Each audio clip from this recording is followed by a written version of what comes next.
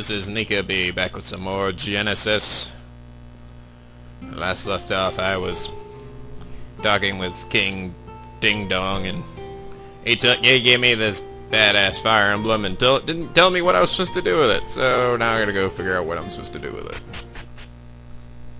Oh, okay, there we go. We're up to the land of the flame, then I think we should set up camp. oh, okay, whatever. that makes the most sense. Let's go set up camp. We could just stay in the castle and talk about it, but no, let's go outside and talk about it. Where monsters can kill us. Since we're not into the land of the flame, I must know something. Are you fully committed to the cause? Yes. what cause? Getting his memories back, or I don't even know what I'm doing. Some special mission. I must do what needs to be done. I agree with Lance. Not only do I the one the but then I must participate. So we finally have a ding-dong doodly team. Woohoo! Well, we are on the same page. I think it's not... Seriously, is it just gonna be the four of us? Four dudes? Seriously? No, I don't believe so. Like you already know my answer. Have to uh, tell the demons. Monsters and demons encounter on a day-to-day basis. No one knows where they come from, but ever since the beginning they existed. The sole purpose to destroy everything and have sex with everything and poop on everything. Wait, did you say poop on everything? That's right, pooping. Map tells us we are trained to fight. We install a charge and join to combat them. Legend tells of something and then a nameless fallen angel. Fallen angel. Sounds like Sephiroth. That's right, it is Sephiroth. Dun dun dun dun dun dun dun. You're from the land of the flame, correct? Share your knowledge about it. Well, tell you the deer that ran away 10 years ago didn't look back. But, but there are things that I won't know will change. First of all, it's completely closed off from the outside world. Flame in we got from the prince, the only thing can open the gate to the power. There you go. The name of the actual land, Land of Flame, Land of Flame. Sounds a lot better than Land of Flame. Yeah, Land of Flame kind of sounds, sounds kind of lame. Sounds like a stupid Disney movie. Take control of the shrine. That was 10 years ago. That's... No! Ah, my, my God. My God. Elias Gameratus was completely dissipated. Yes. Um, we lose control of the shrine. Then we have to go. I agree with this big case. Why did we take this long? Why didn't we go to that place first? Because we didn't have the fire emblem. Well, fuck me. You went and lived there, didn't? Shouldn't you have a fire? Oh, oh, this is the end of it. Thank you so much for playing the demo of Genesis. I put so much time into this game. One year so far. Showing interest in space. Shut up, Trey. Why are you narrating this? I like to narrate things, alright? Alright, now, now you should narrate it, but... Naya likes narrating. There really isn't much to explore. Unless you visit the Cave Eternal one. It's. Okay, you know what, Naya? You just, just don't even, don't even narrate. But I liked it. No, no, no. You know what? You, you fucked it up. You, you always fucked it. God damn it. Alright. To the north of here. Try. Unless you visit the Cave of the Orange. It's my first time at an actual large-scale side quest.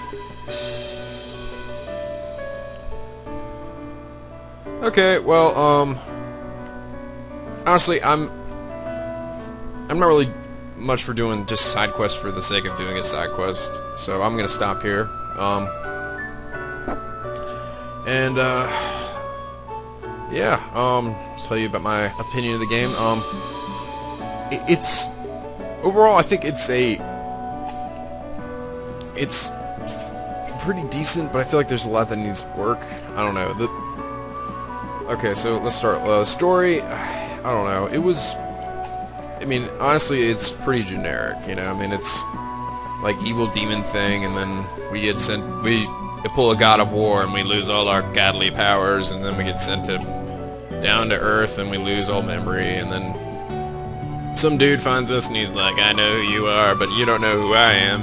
I'm all mysterious and shit." And we're like, "Whoa, whoa, dude, get out of my face." I'll get inside your face. Sorry. Uh, um, you know, and it was. I don't know. I, I mean, the characters were okay, but I, I kind of found myself like, especially towards the tail end here, I just found myself not really caring that much. Um, you know, it wasn't. It, it's not anything that's really super engaging. Uh, I'm kind of just tired of stories that are like, there's this one guy who's like the sole hero and needs to save the world, and I'm just kind of, I'm tired playing this kind of games, you know? Um, that's kind of what we have here. It's this one guy who's super powerful, and then, uh, I don't know, just it just gets old. Um, the uh, the the graphics, those need a lot of work too. Like it, it sort of varies. It's weird. Like some areas actually look okay. You know, like the world map isn't too bad. Um, honestly, like yeah, I mean, uh, it doesn't look too shabby. You might want to. No, you know, it, it really doesn't look bad. I, I don't know. Um, but like some of the interiors are really bland. That ca that castle down there was really bad, man. I mean, seriously, it was just there was nothing in there. I mean, it's just like just a long series of corridors with nothing, no carpets, no like drapery. It's just like like cracks in the wall. I mean, there's no I don't know, no benches, no pillars, no statues. It's nothing. It's just a big empty castle. It's just aside from that like garden thing on the second floor, which I still don't really get. Um, you know, and then some of the interiors, you, you just you made your you make your interiors too big. You're, and this is this is something that seriously so many de uh, developers do. Um, is that they make their interiors far too big and they got all this open space and and really the the best looking maps are the ones that are, are smaller, more compact. You make most use of your space while still, you know, taking things and like decorating it, giving you enough movement to move around, but not so much that you have like, you know, like a fucking acre of like empty space. You know, it's just, uh, just go for smaller. You know, I mean, I think, I don't know, I, I mean, we we all did this. I mean, all early game developers did this. Um, I did it too. You know, I mean, when I when I was starting off. So, but. Uh, know, I learned that it's just better for to small have smaller, more compact areas. And it, just, it does. It just looks a lot better. Um. Uh. Okay. Um. The music was good. I, I did enjoy the music. I'm not sure if uh, I did recognize a few Chrono Cross themes. That was about it though. The rest I, I don't really recognize. Like I like this world map theme. I, have never never heard this one before. I'm not sure if it's RTP or if it's from something, but it's it's nice. It's soothing. Mmm. Um, yeah, so, I mean, it wasn't anything too bad. I, um, yeah. Uh, the gameplay, and I actually think that's probably was the strongest thing in this game was its was its battle system. Now, it's definitely not perfect. There was, like, that one boss, that second demon thing was, that thing was really hard. And it, and it was, I felt it was sort of annoyingly hard because just because of uh, certain things, like the fact that he casts that deadly poison. There's no way I can cure that, as far as I know. I mean, I didn't see any items in the only items I saw in like item shop was the that could cure poison was that palm thing, palm leaf thing. That only cures regular poison. Um, and uh, and then they sold like potions and stuff, but. Uh, you know, and that that wouldn't cure it. And every time I'd like cure myself, he would just like do it again, you know. And it was, I don't know. It, I feel like it's still, I, I, I can't tell from the grand scale of this game whether it just seemed like that boss should have been easier, you know. I don't know how many of these spirit things I'm gonna up facing. But, you know, like, I would sort of understand if the next one, the third one, was really difficult. And I don't know, I feel like the second one shouldn't have been, like, I mean, it could be tough, but not like that hard, you know? Not so hard that it's like, holy shit on a stick, but it's... This guy is rocking my world. He's taking me out to lunch. So, you know, and then also some of the things like in the that mountain area where the bad guys, they, like that one cockatoo enemy, like, all it ever did was use stone gaze. Gaze, like, hardly ever attacked me, like, like 70% of the time he's used stone gaze which would petrify me, and then the item to buy to uh, to heal yourself for petrification was way too expensive. Um, and it would you know last outside a battle. I mean, it sort of it was sort of like like holy shit, I'm kind of fucked. You know, I mean, it's definitely a, one of the situations where like I mean, yeah, if I all my party members get petrified, I'm screwed. I don't even, I didn't even get a game over when it happened, you know? So, and also that, oh man, that bug, that, that optimized bug, that, you gotta fix that, man. That's, that is a big, that is a big boo-boo there. I mean, holy shit, I can, look at me. Look at this power I have. More items. More power! yes! Infinite power! Okay. Anyway. Um... So, you know, but I, I did find the battle layout, like the way battles looked for the most part, I thought was actually pretty good. I, it seemed a little different than what other other ones looked like, which I thought was kind of nice. Just the aesthetic were, were better, I thought. Although I did really would I would have appreciated having like one of the, the the character face boxes flash when it was their turn. I know it moves up a little bit and then has their name above the, the box, but I'm constantly staring at their HP.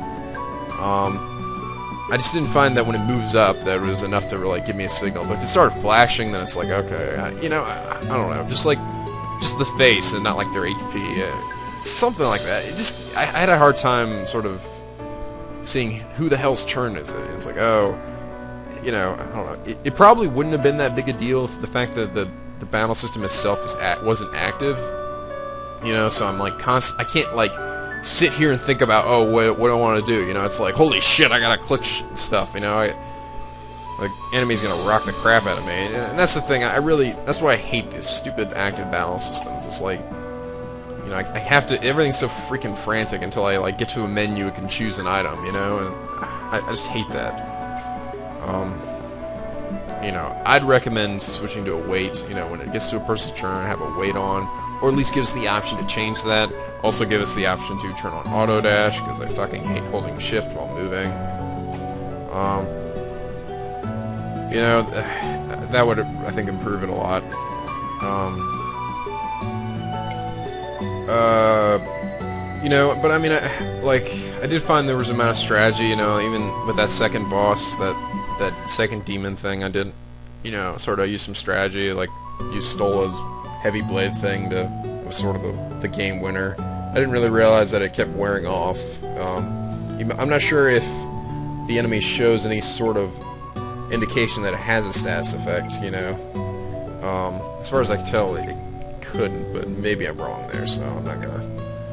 Um, but, you know, if it doesn't, then, you know, it would probably be a good thing to have. Um, I wasn't even really aware that that move was actually afflicted a status effect. It looked like I thought it just would increase decrease his agility, you know. Um, but yeah, what I think is a stat is a status effect. Uh, okay, so you know, so the battles were, but the battles were pretty good, you know. Like I mean, in you know they weren't horrible. They weren't like rocking my shit too much. Although again, I hate random battles, but I don't know. I think any game would just be can only improve from having a touch encounter system of some kind. Uh, oh, excuse me. Um, but yeah, you know, I mean, I feel like there's still, you know, a lot that you can you, you can do to improve this game.